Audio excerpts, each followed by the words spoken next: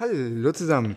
Zerstört das Handy den Kameramarkt? Ersetzt das Handy die Kameras? Ist die Spiegelreflexkamera tot? Ist die große Kamera tot? Solche Fragen werden mir ständig gestellt und ich und viele meiner Kollegen machen ja auch regelmäßig Videos dazu. Das letzte Video zu dem Thema ist, glaube ich, ungefähr ein Jahr alt. Zeit für ein Update. Ich habe das iPhone 12 Pro hier liegen und wir haben im Moment auch liegen als Leihgerät das Samsung Galaxy S20 Ultra, also die Top-Geräte eigentlich von den beiden großen Herstellern. Ja, also State of the Art habe ich mir angeschaut. Und als ich das gekauft habe, jetzt vor ein paar Wochen, kam natürlich sofort die Frage, ersetzt das inzwischen deine große Kamera?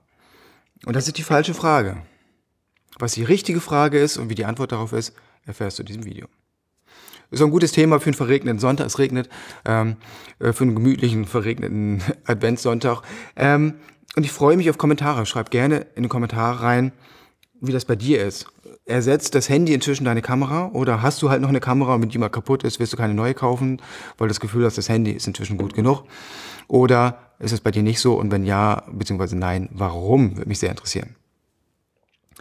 Ähm, ich fange mal mit der richtigeren Frage an, weil die Frage ist doch, fotografierst du, weil es dir Spaß macht? Bist du ambitionierter Hobbyfotograf oder sogar Berufsfotograf und fotografierst du einfach, weil das deine Leidenschaft ist? Dann willst du wahrscheinlich einen Glassucher haben, weil das irgendwie einfach schöner ist als ein elektrischer Sucher. Dann willst du Knöpfe haben, pass mal auf, das ist jetzt die Fuji X100T.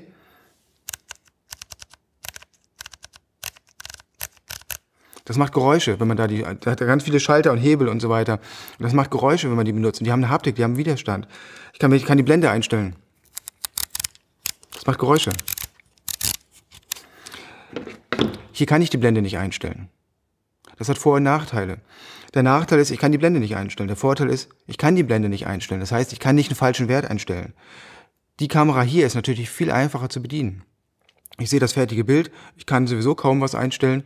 Also kann ich mich voll darauf konzentrieren, den Bildausschnitt zu finden. Das heißt, Einsteiger in der Fotografie, Gelegenheitsfotografen, wenn man nur seine Kinder fotografieren will und nur Urlaubsfoto, mal schnell einmal, ich stehe vom Eiffelturm, dann siehst du das fertige Bild.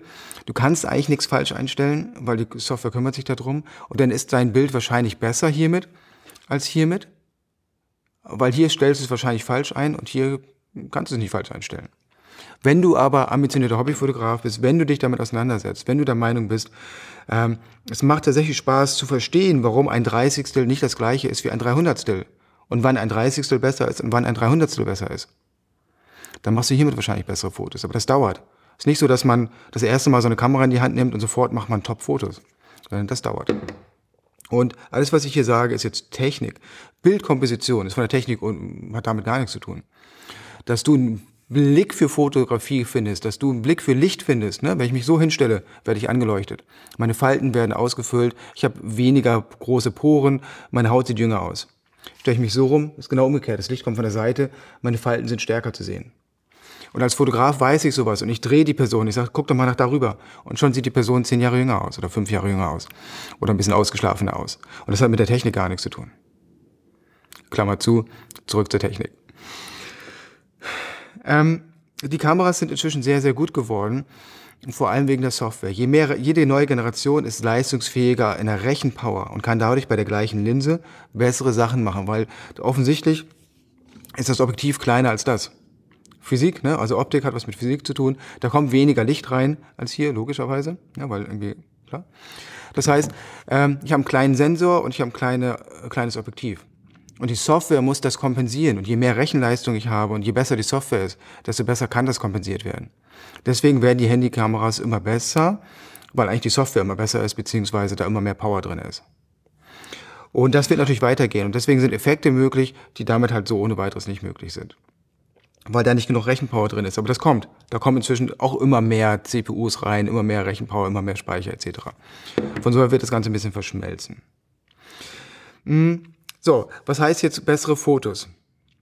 Wenn du dein Handy vor allem benutzt, um Gelegenheitsfotos zu machen, deine Familie zu fotografieren, Urlaubsfotos etc., habe ich gesagt, Schnappschüsse, dann wirst du hiermit wahrscheinlich inzwischen bessere Fotos machen und die Bildqualität ist so gut, dass man das eigentlich auch nicht mehr sieht. Wenn du hier so ein Objektiv aufschließt oder ein Teleobjektiv anschließt, eine große Kamera, wirst du damit bessere Bilder machen. Deswegen, äh, man kann es nicht sagen, richtig oder, oder falsch oder besser oder schlechter. Ist ein Elektroauto besser als ein Benziner? Ja, nein. ist dir der Sound von einem Auto wichtig? Ich überlege gerade, mir ein ähm, Elektroauto zu kaufen, privat, äh, also als Familienauto. Und äh, ich sage so, ein Audi e-tron, der wäre doch voll cool. Und meine Frau sagt, ja, der hat doch keinen Sound. Und ich sage, ja und, das ist ein Auto. Und sie sagt, ja eben. Und ich sage, ja, aber äh, Auto, Sound ist doch völlig egal. Und sie sagt, nein, das ist wichtig, sie will einen dicken BMW haben. Ähm, und ich sage, das ist überhaupt nicht mehr zeitgemäß. Und sie sagt, aber der hat keinen Sound. Und, ne, also wir haben beide recht ein Stück weit, weil ihr ist der Sound wichtig und mir nicht. Mein Auto soll sicher und effizient sein und mich einfach sicher von A nach B bringen. Und sie sagt, sie will Spaß haben. Und ich sage, Autofahren Spaß? Oxymoron. Und sie sagt, nein, Autofahren soll Spaß machen. Und beim Fotografieren ist genau das Gleiche, finde ich. Jetzt druckst ich so ein bisschen rum. Wie sieht denn das bei mir aus? Hm, ich bin jetzt ja jemand, ich drucke tatsächlich ein Magazin. Da oben hängen die Covers vom Zielfotomagazin. Und über die letzten Jahre tauchen da immer öfter Handyfotos auf, weil die Qualität so gut geworden ist, dass ich tatsächlich die Fotos auch in groß drucken kann. Und das wird immer mehr werden. Weil wenn ich ein Magazin mache, die schönsten Orte von Norddeutschland, und ich will zeigen, die Hamburger Speicherstadt ist schön, warum muss ich denn so eine Kamera nehmen? Die ist doch auch mit dem Handy schön. Und zwar eigentlich genauso schön. Und ob da jetzt nun Sonnensterne sind, weil das Objektiv besonders schöne Sonnensterne macht oder nicht, ändert ja nichts daran, dass die Speicherstadt schön ist. Also das verschmilzt immer mehr auch im professionellen Bereich. Beim Film genauso. Wir filmen immer mehr auch mit dem Handy, so kurze Sequenzen. Dieses Video könnte ich doch auch mit dem Handy filmen. Mich filmen da jetzt 6000 Euro. Warum nehme ich nicht das Handy? Ist doch egal. Das ist für dich als Betrachter egal. Das, das, du gibst ja dem Video keinen Daumen hoch. Also gibst hoffentlich einen Daumen hoch, aber nicht, weil ich das mit großen Händen, einer großen Kamera filme, sondern weil ich was Interessantes erzähle. Der winkt mit dem Daumen. Oder? Also in vielen Fällen ist es einfach völlig egal. Ich will was Schönes zeigen und ich kann es irgendwie zeigen. Und manchmal möchte ich halt den Spaß damit haben. Ähm, jetzt die Frage für mich persönlich, wie ist denn das bei mir? Ich habe halt das Handy immer in der Hosentasche, ist immer dabei. Wie oft nehme ich denn noch die große Kamera mit, wenn ich nicht beruflich unterwegs bin? Beruflich nehme ich die große Kamera mit. Aber privat, äh, also wenn ich mit meiner Tochter spazieren gehe, dann gehe ich, beziehungsweise jogge ich, weil sie auf dem Laufrad inzwischen sehr schnell ist. Das heißt, sie sprintet dann ein Stück mit dem Laufrad und bleibt stehen, sprintet wieder, bleibt stehen, also macht Intervalltraining quasi. Und ich jogge halt nebenher. Und der wichtige Punkt ist doch, da nehme ich nicht eine große Kamera mit. Und manchmal ärgere ich mich und denke, ach, das wäre cool, ich hätte die jetzt dabei. Praxisbeispiel. Letzte Woche waren wir unterwegs, hat geregnet, hat aufgehört zu regnen, wir sind losgegangen und da war da so eine große Pfütze. Und sie dann mit ihrem äh, Laufrad rein da. Gummistiefel an, Wasser läuft oben rein und sie steht da drinnen, blauer Himmel, Pfütze, ganz tolle Reflexion wirklich ein cooles Bild und ich stehe da und oh nein, warum habe ich jetzt das Tele nicht dabei? Ich hätte so gerne die Sony mit dem Tele dabei gehabt und es wäre ein schöneres Foto gewesen für mich als Fotograf. Ich habe halt ja nur mit dem Handy Fotos gemacht und habe die Fotos dann natürlich Freunden gezeigt und meiner, meiner Schwiegereltern geschickt und alle fanden die Fotos toll. Und keiner, pass auf, halte ich fest, keiner hat mich gefragt, warum hast du nicht äh, 70 Millimeter genommen? Oder warum hast du nicht Blende 2.8 genommen? Das ist doch allen egal, außer uns Fotografen. Wichtig zählt die witzige Szene, das Kind steht da mit den vollen Gummistiefeln und jeder weiß, so, ja, Kinder, Kinder und Pfützen, das ist ein Thema. Darum geht's, um die Momente, um die Emotionen. Und nur mir geht's darum, ich möchte gerne einen unscharfen Hintergrund haben. Also who cares?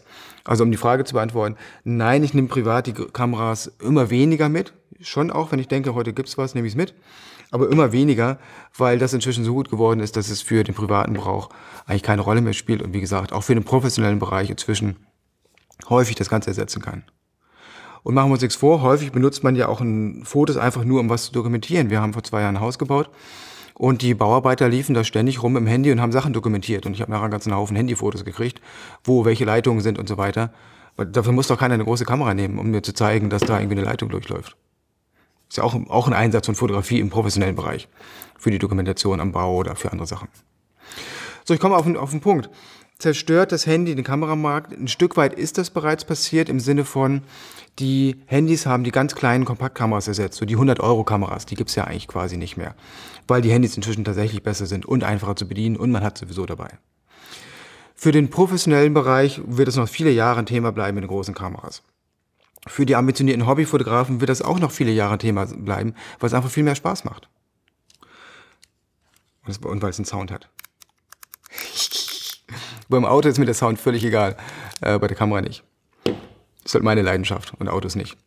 Ähm, also deswegen, es wird ein bisschen verschmelzen, aber ähm, ich glaube, ein ganz wichtiger Punkt ist ja noch, es wird häufig gesagt, weil die Handys immer besser sind, werden weniger große Kameras verkauft. Große Kameras verkauft. Und das stimmt nicht. Meine Meinung ist, das kann falsch sein, schreib mir gerne einen Kommentar, wie du das siehst. Meine Meinung ist, die großen Kameras sind einfach so gut geworden und die halten ja auch ein paar Jahre. Wer jetzt eine Canon 6D hat, warum soll er sich eine Canon R6 kaufen? Also quasi eine fünf Jahre alte Kamera. Und jetzt gibt's halt eine neue. Und die neue ist besser, unstrittig. Aber die alte ist so gut, dass für einen privaten Gebrauch, äh, solange die noch heil ist, behalt die. Die macht sowieso mehr Spaß. Weil sie weniger kann, weil sie einfacher zu bedienen ist. Kauf dir lieber ein gutes Objektiv, wenn du Geld über hast. Da hast du mehr davon. Und deswegen werden weniger Kameras verkauft, weil die einfach so gut sind. Ein Auto kaufe ich mir auch nur, wenn mein Auto ist halt irgendwann ein bisschen alt und irgendwann kaufe ich halt ein neues.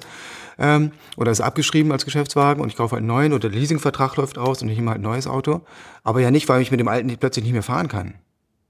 Oder, oder bei einer Uhr. Ich kaufe mir nicht eine neue Uhr, also kaufe ich, weil es ein Schmuckstück ist, meinetwegen, ne, wenn es eine teure Uhr ist. Aber ja nicht, weil die neue irgendwie besser ist, sondern ich will halt mal eine neue Uhr haben, weil ich irgendwie es ein Schmuckstück ist. Und das ist natürlich hier auch ein bisschen so. Ist ja auch ein Statussymbol, beides. Das sind natürlich alles auch legitime Gründe, meinetwegen, wenn man das so sehen möchte. Aber der Punkt ist, es gibt kaum noch einen Grund, dir eine neue Kamera zu kaufen, wenn du eine gute Kamera gekauft hast in den letzten vier, fünf Jahren. Und deswegen werden weniger Kameras verkauft. Und nicht, weil die besser werden. Die ersetzen das nicht äh, im Sinne von Spaßfaktor. So.